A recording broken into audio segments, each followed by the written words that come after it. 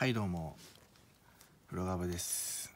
えーまあ、今回は前回言った通り関塚隆監督時代のことについて話していきたいなと思います。えまあ関塚監督は堅守速攻サッカーで、うん、J1 J2 から J1 に上げてくれて優勝争いしてまあ残念ながら優勝できなかったんですけど本当にフロンターレにとってはなくてはならない歴史を築いてくれた監督です。でまあ成績だけ見るとね2000多分6ぐらいから僕は見始めたと思うんですけど6年はリーグ2位にはまあ2004年に J2 優勝して2005年から J1 上がったんですけど、うん、2006年には2位にリーグ戦2位に入って。でルヴァンが、まあ、ナビスコですけど当時。ベスト4で天皇杯5回戦敗退と、うん、でリーグでは勝ち点67稼いでリーグ最多の得点力を誇ったと。で2007年はリーグ5位でナビスコカップ準優勝、うん、天皇杯ベスト4と。うんまあこの辺ですよね。この辺からまあ優勝っていうものが完全にもうねうん、フロンターレの、まあ、選手ファンサポーター関係者全員がね、意識し始めたと思うんですけど。でまあ2008年はまあそうですね。5試合ですか。5試合戦って、まあ、病気の療養のためにね退任されてで2013あ2009年にね復帰してでまたここで2位と。でナビスコ準優勝、うん、やっぱりね本当に強かったんですよこの時代。強かったんですけど本当なんかしないですけど優勝ができなくて。本当あと一歩足りなくて。っていう時代でしたね、まあ、いつか優勝するだろうって思ってた時代でした完全に。はい。でまあ堅守速攻で、まあ、パッと思い浮かぶメンバー関塚監督時代のメンバーをちょっと僕なりに書いてみたいと思います、まあ、実際メンバーは見たんですけどそれぞれの年で年でね。でもやっぱここはね自分のイメージ関塚監督の時代のフロンターレのイメージをここでは書きたいなと思ってるんではい、まあ、キーパーはですね間違えた。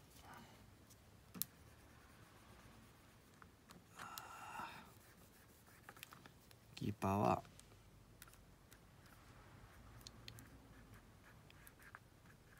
川島英二選手。で左サイドバックはぱあまあそっか352か。352なんでそうですね伊藤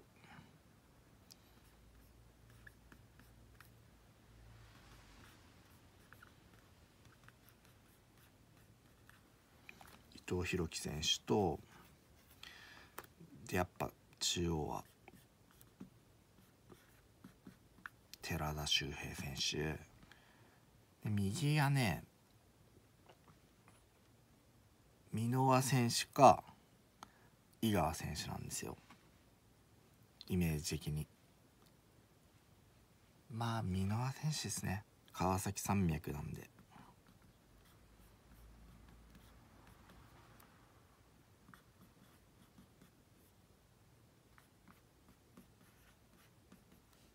うん。で中盤もちろん中村健吾選手。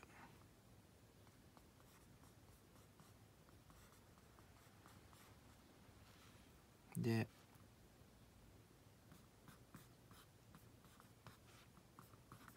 谷口博之選手ですねこれは。翔吾選手じゃないです。でトップ下。ここがねむずいんですよ。4枚に中盤4枚にするか3枚にして3トップにするかなんですけどまあイメージは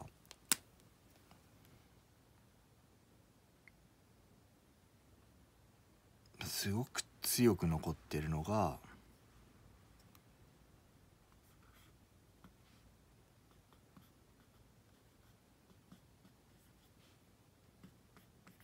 ビトール・ジュニオール選手。うんこの選手は多分そんな長くいなかったと思うんですけどすごく印象に残ってますね。はい。で3トップにしましょうね。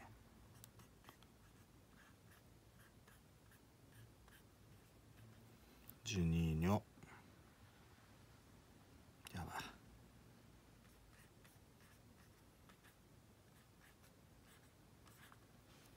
チョンテセ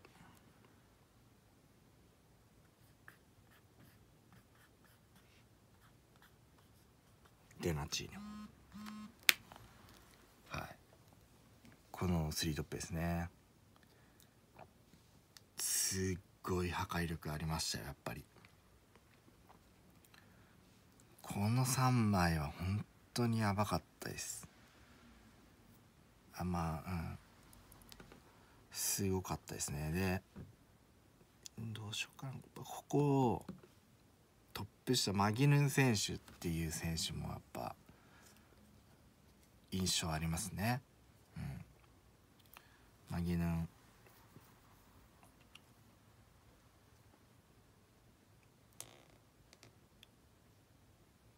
あれ？システムおかしい。システムおかしいな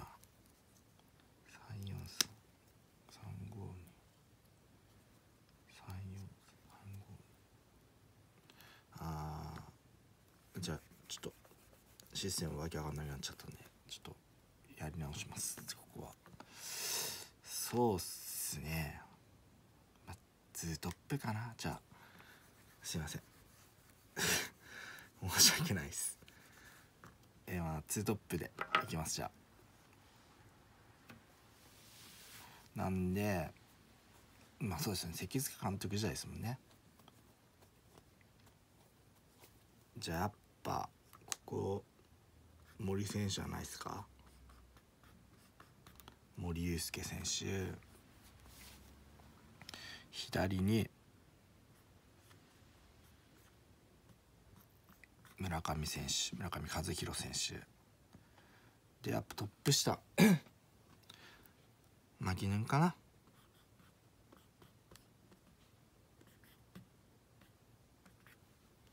で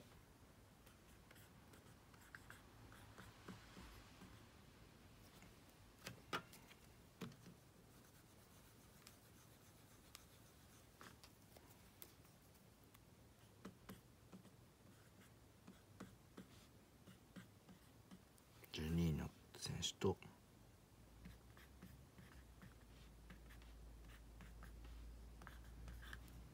チョンテセ選手。はい。しようかな。このベストイレブンベストイレブンっていうか11人ですかね。イメージ的には。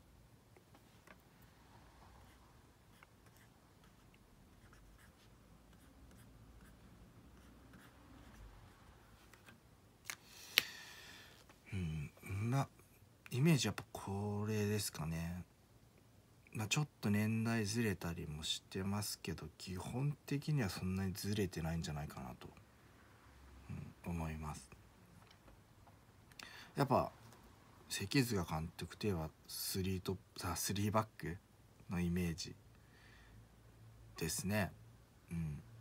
まあ、2009年かな？2009年シーズンは途中から4バックにしたと思うんですけど2008年高畑監督時代に4バックちょっとチャレンジしてでそのまま2009年は4バック、うん、を維持した形ではい進めたと思うんですけど。そうっすね。まあやっぱ中村健吾選手から12の選手っていう一本縦パスで12が走り込んで決めちゃうとか。あとはチョンテセ選手のフィジカルを生かした割とロングボール蹴ったりもしてたんでディフェンスからポンって。でチョンテイ選手に当ててチョンテイ選手の馬力でね持ってってゴール決めちゃうなんていう試合もありましたし。でやっぱあとはここですよね。この2枚。この2枚の得点力がほんとすごくて。2人で2桁2人ともか。2人とも2桁取ったシーズンも確かあって。やっぱその辺はやっぱ今のフロンターレよりも破壊力という意味では当時の方があった印象ですね。あとはやっぱこの時代ですねやっぱり。あの轟劇場。っていうのが生まれたのは関塚監督時代に生まれたと思うのでやっぱあの時代って2点差とかで負けててもなんか全然入っちゃうんじゃないか。1点入ったら一気にいっちゃうんじゃないかっていうのが本当にあって。ポンポンポンって本当に取れちゃう時は本当に取れちゃうんでその興奮は今じゃなかなか感じられないかなっていう印象はすごいあります。やっぱこのね12位のちょんってせここがやっぱねすごかったんで当時まあねこの時代を知らない人はちょっとなんかね YouTube かなんかで載ってるかな載ってたら見てほしいと思う欲しいんですけどほんとこっからポーンっつって12にポーンって縦パス通すだけで一気に決定機。この人が速くてうまいんですよね。やっぱり。レジェンドですけど川崎の太陽って言われてただけあるんですけどほんと速くてうまくて決めちゃうんですよ。得点を。でこの人はほんと強くてうまい。イメージですね。でもう完全に中村健吾選手のチームになったんで。まあそういう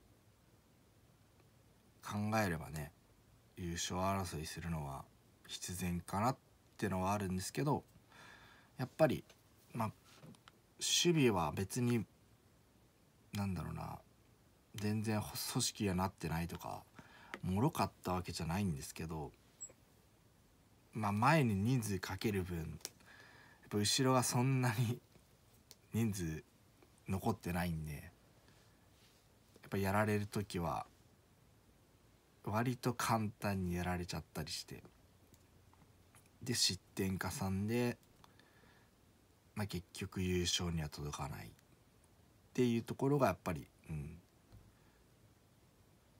まあフロンターレの良さでもあったんですけど逆に言えばやっぱ決定的な欠点でもあったのでそこを修正、まあ、難しいと思うんですよねバランス的に。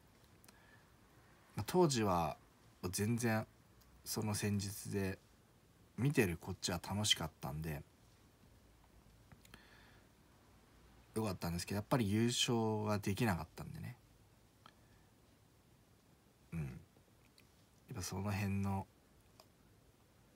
なんて言うんだろうな。分別というかを分けた戦いはまだこの当時はできなかった印象です。はい。まあいずれにしてもねやっぱフロンターレの楽しさを思う存分見せてくれた関塚監督のチームは本当に今でもイメージ残ってるぐらいなんで本当に面白かったんだなって思います。はい。まあこんぐらいですかね。あもっと細かく言っちゃうともう時間が 取られちゃうんで。はい。えー、まあ皆さんもねまあ多分僕よりも全然見てた人多いと思うんでまあ関塚監督時代のなんだろう。メンバー残ってる印象残ってるメンバーだったり印象に残ってる試合とか、うん、そういうのをねコメント欄とかで書いていただけたら嬉しいです。はい。ちょっと内容がまだちょっとね動画撮るに慣れてなくて内容自体薄いですし。まあもうちょっと改善しなきゃいけないなとは思ってるんですけどまあ是非何かアドバイスとかあればコメント欄とかに書いていただけると嬉しいです。はい。でまあそうですね。次回はまあ短くなるかもしれないですけど高畑勉監督時代のフロンターレについて話していきたいなと思ってます。はい、えー、最後まで見ていただきありがとうございます、えー、また次よろしくお願いします。はい。フロガブでした。